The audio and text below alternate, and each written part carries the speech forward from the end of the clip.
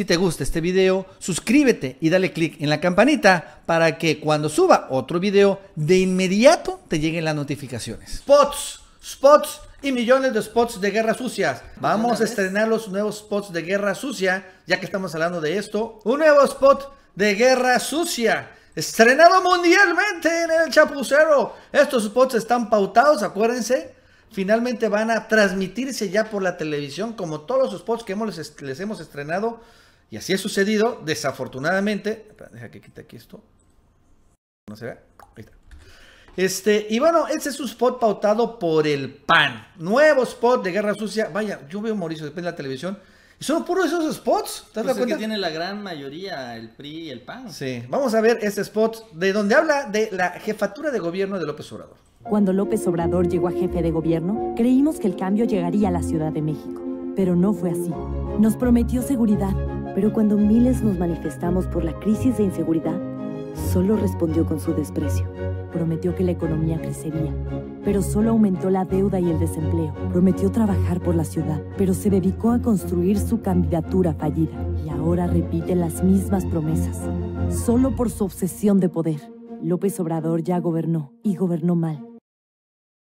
No entiendo, honestamente, la insistencia y la obsesión de los panistas y los priistas en descalificar al gobierno de Obrador en la Ciudad de México cuando todos tienen claro que fue un gran gobierno. ¿Estás de acuerdo, Mauricio? Sí, pues era de los mejor evaluados y está desde hace rato, uh, ya tiene rato que está circulando esa entrevista que le hizo Ciro donde le dice, oye Andrés Manuel, tienes noventa y tantos por ciento de aprobación, eso nunca lo había visto, ¿cómo te sientes? Dice, no, pues el resultado del trabajo, ¿no? Es lo que hemos hecho.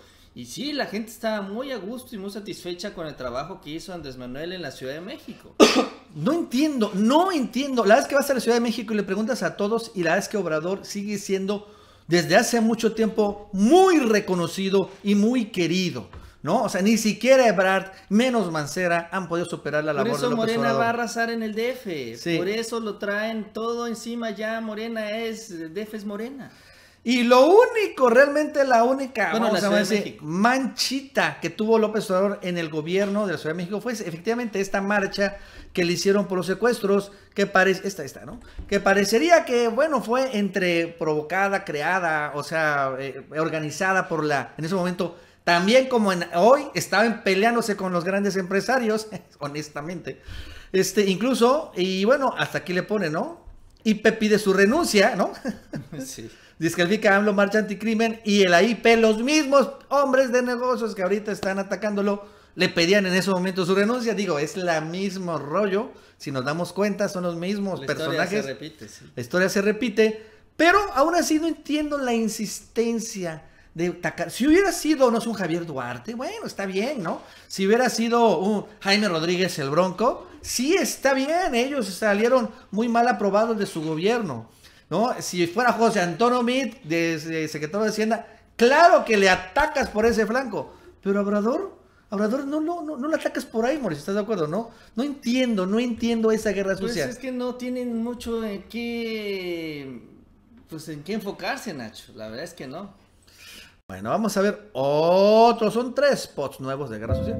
Ah, este, este es el pilón, este es el pilón, este es el pilón, Mauricio. Vamos a ver. ¿Viste el debate? A ver, ahí está, ahí está, Este sí. Otro spot de Ricardo Anaya. Sacando el tema de que la vez que Ricardo Anaya Mauricio es un gran, gran fan de López Obrador. Salió todos sus libros. ¿Viste el debate? ¿Te acuerdas de este libro? Lo escribiste tú y dices que el Fobaproa fue el saqueo más grande de la historia desde que existe el México independiente. Pero resulta que muchos de los que aprobaron esto que tú dices que es un saqueo son tus candidatos en Morena. Y en la página 33 acusas a Poncho Romo de ser corrupto y anunciaste que va a ser el jefe de tu gabinete. ¿Por qué no explicas la contradicción? Este... Ricardo Anaya, de frente al futuro. No, bueno. Eh, dice, dice, ¿por qué no explica la contradicción? Dice, cero, cero, ya no tenía tiempo. ¿No? No responde, pues no, no es un momento. Y el, este, este silencio, ¿no? Sí, como si no supiéramos que habla despacio, Andrés Manuel. O, finalmente está editado el video. La verdad es que pudo haber dicho lo que sea, ¿no? es que, que ¿Qué ganas? Aquí, bueno, le da... tampoco es la primera vez, Nacho, que le sacan esto. También Calderón le sacó a Arturo Núñez con el Fogaproa cuando era candidato del PRD. No es la primera vez que le llegan por ese lado y le dicen, oye Andrés, es que la gente que está contigo está acá en tus libros. No, ya se lo han dicho antes. Sí. No es nuevo. No funcionó mucho antes y no funcionó mucho ahora. Es más, funcionó antes porque antes sí era como, oh, oh, le encontraron estos nombres ahí. Pero ahorita ya todos lo sabemos. Y bueno, está el nuevo nombre, ¿no? Quieren atacar a Poncho Romo, que es como que el jefe de gabinete. No, es que no hay ni una figura así en el, en el presidencia. Ha dicho López Obrador que este, no va a cambiar la ley, así que podría ser tal vez el jefe de la oficina presidencial, lo que tú fue Aurelio Nuño. Pero la verdad es que, no sé, no lo veo, es un empresario. Y ahí necesitan un político como tal. Yo no lo veo realmente, honestamente, a Poncho Romo en el gabinete, en estas lides. Pero bueno, aún así ahí está el tema. Este es finalmente lo más importante eh, este, de la guerra sucia, que también, honestamente, nadie conoce a Poncho Romo pues como, para que, Se quedaron sin creatividad, ¿no? Sí. Bueno, vamos a ver, esos son los del PAN. Ahora vamos a ver las del PRI, Mauricio. ¿Por qué? ¿Qué crees? Sacan la avioneta. La avioneta llegó a los spots de ah, televisión. Sí, la avioneta del observador. que falta creatividad. No, bueno. Llegó la avioneta, vamos a escucharlo. No me voy a subir al avión presidencial. Pero contrata avionetas privadas para viajar.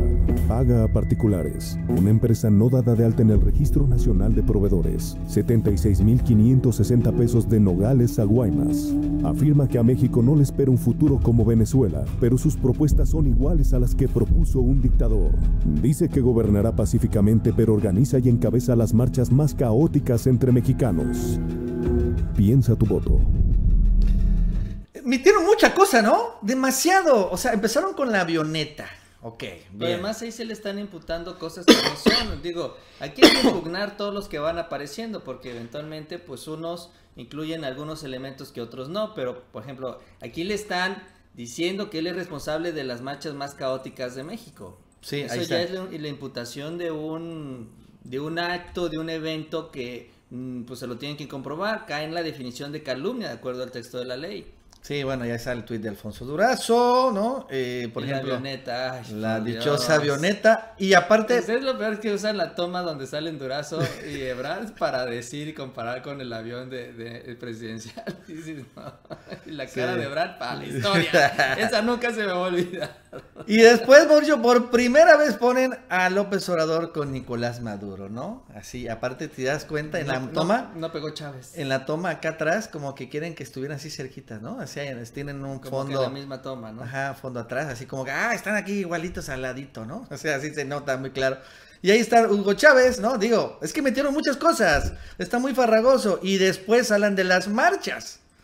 Digo, empiezan con la avioneta y acaban con las marchas. Y Hugo Chávez y Nicolás Maduro. Oigan, oigan, si van a hacer spots de guerra sucia, en serio, son 30 segundos. Y son gratis, pueden pautar varios spots. Digo, para que no, está muy así muy, muy, muy, muy, Se van a quedar sin ideas ya para la siguiente tanda de spots, ya. Sí. sí, la verdad es que se pasaron. Sí, pues no tienen ideas. Y va la del pilón, Mauricio. La del pilón es el spot de El Bronco. también le lanza ¿Qué no, quieren Pero, pero, no, no le lanza Obrador, la verdad, honestamente. Sin embargo, insiste y ya hizo lema de campaña el... El mochamanos. Sí, lo hizo Lena, lema de campaña, Mauricio. Pues es lo que, de lo que habló. ah, sí, pero ya lo hizo lema de campaña. Si hablamos en la apología del delito de violencia, y el Bronco está haciendo lema de campaña en un spot pautado por el INE, el... Vamos a ver. Es el pilón, es el pilón. ¿Qué quieren ustedes? ¿Una despensa o que su hijo vaya a la universidad? Este país lo vamos a sacar adelante los ciudadanos no los partidos, que son el verdadero origen de los grandes males del país. Vamos a mocharnos el miedo, vamos a mocharnos la apatía. Tienen el poder más grande que puede tener México. Tienen el poder de su origen. Vamos a mocharnos. ¿Qué onda? ¿Qué onda? Pasa en este mundo? Ah, la verdad es que los independientes han resultado un ¿Qué pasa? fracaso. y digo, el Bronco saca esos eventos de Nuevo León porque ahí es donde le, se los pagó su compa gobernador, pero pues suben día tras día videos de cómo la gente le dice todo al Bronco en la calle. A Margarita también. No jalan, no generan interés, no hay estructura. Si no pudieron con las firmas, obviamente menos, ¿no? Con gente que les lleve, eh, pues, asistentes a sus eventos. Nada, pues, son un cero, un bill cero a la izquierda. Las que se pasa.